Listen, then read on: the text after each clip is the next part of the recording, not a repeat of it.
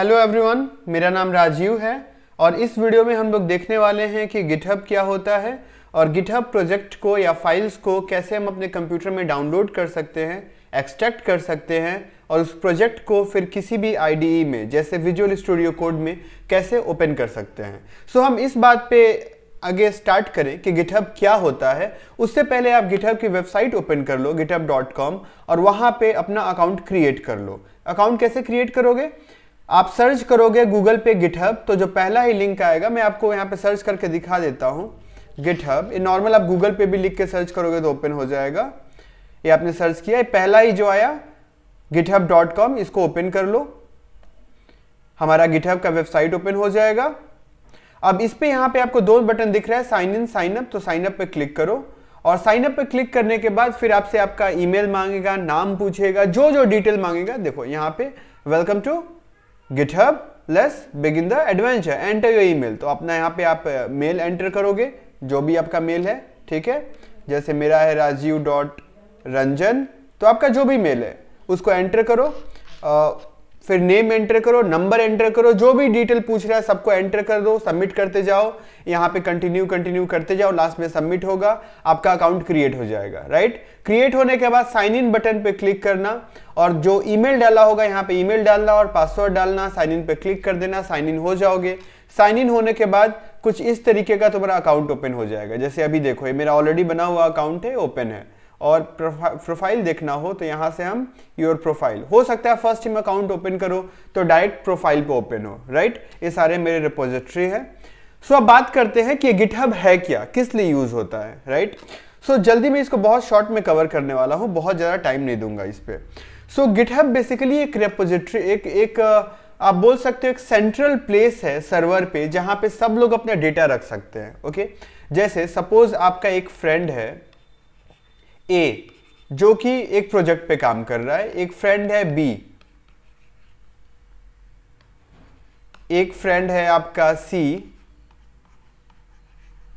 ठीक है? तीनों को एक ही प्रोजेक्ट पे काम करना है। कोई एक वेबसाइट है वेब प्रोजेक्ट है जिसपे आप तीनों को काम करना है राइट तो तीनों कैसे काम करोगे? जो वेबसाइट होगा, पूरा डेटा होगा, उसको कहाँ रखोगे? ए के कंप्यूटर पे रखोगे या बी के कंप्यूटर पे रखोगे? या सी के कंप्यूटर पे रखोगे?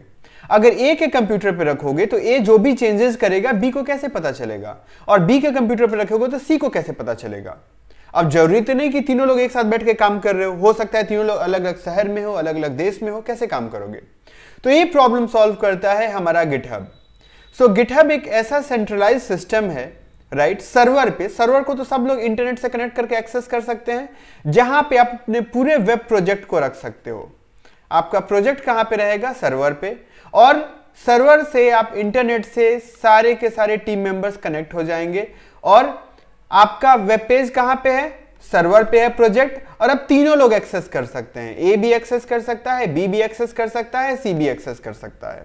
अगर ए प्रोजेक्ट में कुछ भी चेंजेस करेगा तो चेंज करने के बाद उसको पुश कर देगा जो हमारा मेन प्रोजेक्ट जहाँ रखा हुआ है वहाँ पे। तो वहाँ पे वो चेंजेस आ जाएँगे।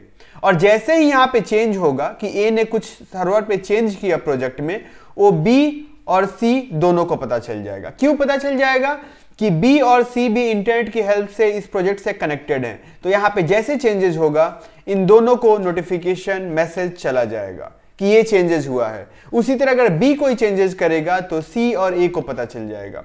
सो आई होप क्लियर हो गया होगा कि हमारा गिटहब क्या है? एक सेंट्रलाइज सिस्टम है रिपोजिटरी है, जहाँ पे हम अपने प्रोजेक्ट को किसी भी तरह का प्रोजेक्ट वेब प्रोजेक्ट ही नहीं इवन आप तीन चार लोग मिलकर कोई स्टोरी लिख रहे हो, उसको भी रख सकते हो ओके किसी भी तरीके का प्रोजेक्ट हो, उसको आप सर्वर पे रख सकते हो। और फिर कई सारे अलग अलग लोग सर्वर से कनेक्ट करके सिंगल टाइम में डेटा को एक्सेस कर सकते हैं राइट कई सारे लोग कनेक्ट करके एक्सेस कर सकते हैं। अगर कोई भी एक चेंजेस करेगा इस प्रोजेक्ट में तो ये सबको पता चल जाएगा right so I hope clear हो गया होगा। गिटहब क्या होता है? अब देखते हैं कि गिटहब से किसी भी प्रोजेक्ट को, अब सी गिटहब पे बहुत सारे ओपन सोर्स प्रोजेक्ट हैं। किसी ने अपना वेबसाइट बनाया, जैसे अपना पोर्टफोलियो बनाया, या कोई ई कॉमर्स के लिए वेबसाइट बनाया फ्लिपकार्ट या अमेजोन जैसा, और उसने पूरा का पूरा गिटहब पे रख दिया कोड राइट तो आप बहुत आसानी से उस प्रोजेक्ट को गिटहब से डाउनलोड कर सकते हो, उसमें चेंजेस कर सकते हो, उसको अपना बना सकते हो, उसके कोड को देख के सीख सकते हो। तो ये कैसे करेंगे? डाउनलोड कैसे करेंगे? तो अगेन मैं अपना गिटहब पेज ओपन कर लेता हूँ, और ये मेरी रिपोजिटरी है, कोई भी रिपोजिटरी में इसमें ओपन कर लेता हूँ। सो so, वापस बैक चलते हैं। यहाँ पे Java zero to hero JavaScript. इस रिपोजिटरी को ओपन कर रहा हूँ और इसको डाउनलोड करके दिखा रहा हूँ। मेरा जो जावा स्क्रिप्ट का सीरीज़ चल रहा है उसमें भी ये वीडियो काम आएगा। सो so, डाउनलोड कैसे करेंगे? अब इस प्रोजेक्ट में बहुत छोटा प्रोजेक्ट है सिर्फ़ दो फ़ाइल है रीडमी और index dot S T M L तो इस प्रोजेक्ट को कॉपी करने का दो तरीका है। एक तरीका है कि आप एस से क्लोन कर लो अपने विजुअल स्टूडियो कोड में या किसी भी और आईडी से, जिसको मैं ऑलरेडी एक वीडियो में एक्सप्लेन कर चुका हूँ कि क्लोन कैसे करेंगे। वीडियो का लिंक डिस्क्रिप्शन में जाके देख सकते हो। एंड दूसरा ऑप्शन है, पूरी फ़ाइल को डाउनलोड कर लो जिप के फॉर्म में। तो एंटर करता हूँ। ये हमारा फ़ाइल ये देखो नीचे। डाउनलोड हो गया ज़ीरो टू हीरो अब इसको हम ओपन कर लेते हैं डाउनलोड फोल्डर में। Okay so show in folder चलो मैंने डायरेक्ट ओपन कर दिया। तुम डाउनलोड्स में जाके देख सकते हो वहाँ पे शो करेगा इसी नाम से। सो so, हमारा फ़ाइल ओपन हो गया। अब इसको एक्सट्रैक्ट करना है। एक्सट्रैक्ट कहाँ करेंगे? अगर तुम सीधे डाउनलोड फोल्डर में जा रहे हो तो जाके ज़ीरो टू हीरो पर राइट क्लिक करना एक्सट्रैक्ट का ऑप्शन आ जाएगा। विंडो यूज़ करते हो तो विन करके एक प्रोग्राम होता है जिसके थ्रू कर सकते हो ऑलरेडी वो विंडो में होगा। सो so, एक्सट्रैक्ट पे क्लिक करते हैं। अब लोकेशन चूज़ करना है कि हमें कहाँ करना है मैं डेस्कटॉप कर लेता हूँ राइट और फिर एक्सट्रैक्ट कर देता हूँ। सो so, चलते हैं हम डेस्कटॉप पे इसको क्लोज कर देते हैं और डेस्कटॉप पे चलते हैं देखते हैं कि क्या डेस्कटॉप पे हमारी फ़ाइल आ चुकी है। सो शो डेस्कटॉप हम ये सारे बाकी सारे फाइल्स को मिनिमाइज कर लेते हैं। ऑलरेडी मेरे कंप्यूटर में बहुत सारे फ़ाइल ओपन हैं।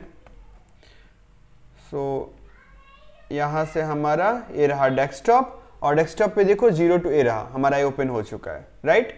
अगर, देखो सेम दोनों फ़ाइल है इंडेक्स और रीडमी राइट अब इसको अगर इस पर कुछ हमें काम करना है तो इसको किसी भी आईडी में ओपन करना होगा। तो कैसे ओपन करेंगे? राइट क्लिक करो।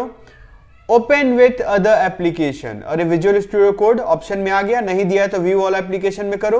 सेम विंडो में भी ऐसे होता है। ओपन विथ करके राइट क्लिक करोगे विंडो में तो ओपन विथ का ऑप्शन आएगा, वहाँ से जाके कर सकते हो। और फिर इसको सिलेक्ट कर लो। ये विजुअल स्टूडियो कोड में ओपन हो जाएगा। सो जस्ट हार्डली कुछ सेकंड लगेगा। मेरा सिस्टम थोड़ा सा स्लो हो गया है, क्योंकि बहुत सारे फाइल्स ओपन है इसमें राइट ओके सो ये हमारा फ़ाइल ओपन हो रहा है। और अगर इस तरीके से जैसे मैंने बताया, मान लो विंडो यूज़ कर रहे हो, वैसे ओपन नहीं हो रहा है। तो दूसरा तरीका क्या है? फ़ाइल पे जाओ। यहाँ पे विजुअल स्टूडियो कोड ओपन करने के बाद ओपन फोल्डर पे क्लिक करो। ओपन फोल्डर पे क्लिक करोगे तो फोल्डर के ऑप्शन आ जाएँगे। डेस्कटॉप पे जाओ। और A zero to hero JavaScript A वाला है, इसको सिलेक्ट करो और ओके पे क्लिक कर दो, तब भी ओपन हो जाएगा। राइट तो ये हमारा विजुअल स्टूडियो कोड में ओपन हो चुका है, ये देख रहे हो रीडमी डॉट एम डी और दूसरा हमारा index dot S T M L इस सेम फ़ाइल को इसी तरीके से हम जावा स्क्रिप्ट सीरीज़ में वाले हैं। So thank you for watching this video I hope समझ में आ गया होगा गिटहब क्या होता है और गिटहब के फाइल्स को हम कैसे डाउनलोड कर सकते हैं कंप्यूटर में। सो so, चैनल को सब्सक्राइब करो एंड वीडियो को लाइक करो एंड अपने फ्रेंड्स के साथ शेयर करो. Thank you